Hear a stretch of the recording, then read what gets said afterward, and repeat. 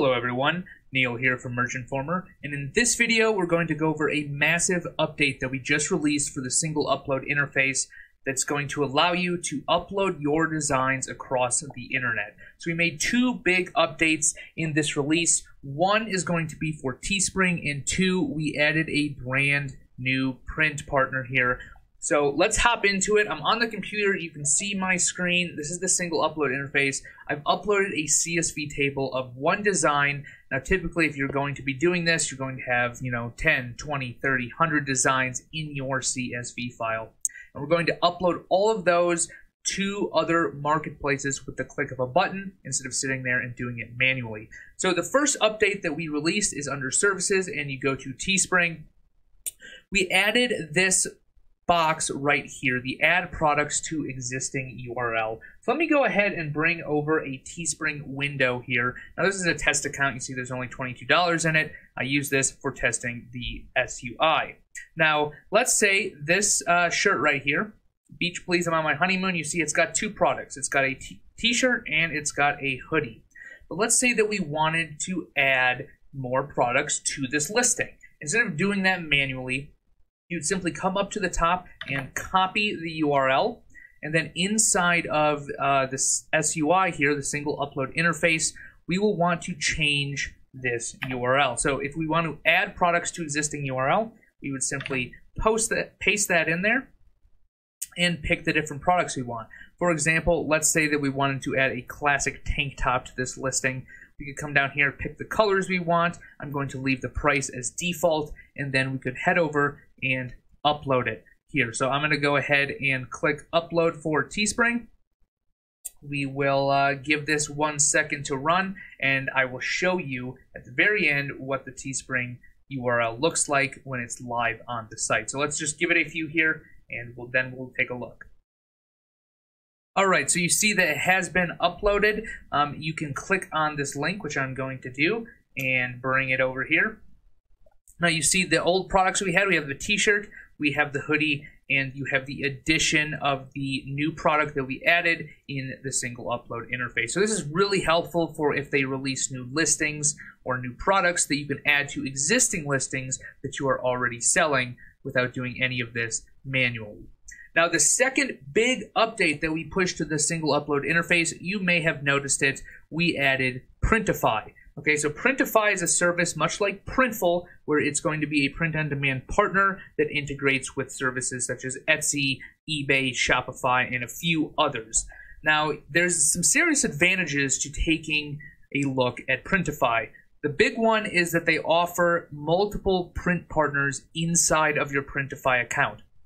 So each print partner is going to offer different base prices, different shipping, and you can go in and take a look. So let me bring over a. Uh, I'm going to bring over a tab here. This is a Printify account that I use for testing. Now to show you how this works, I'm just going to pick a random, a random product here. This is the men's cotton crew tee. And what I mean by different print partners is if you scroll down here, we can choose print providers. Okay, each one of these has a ranking. It shows you what the base price starts at, what the shipping is, how many sizes they offer, and you'll notice that this print partner right here starts at a higher price, has higher shipping, but they offer a lot more sizes than say Monster Digital or DTG to go.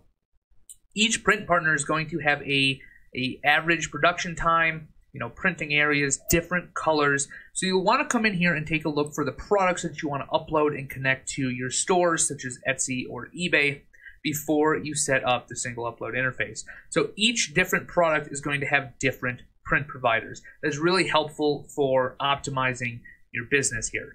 So let's go back inside of the single upload interface and go to services and select Printify. I'm going to show you how this works. Now, I've already gone ahead and picked a product.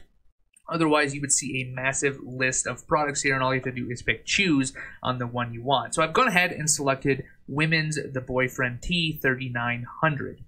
Now, here are those different print providers for this specific shirt. There's the Print Bar, Monster Digital, and DTG to go.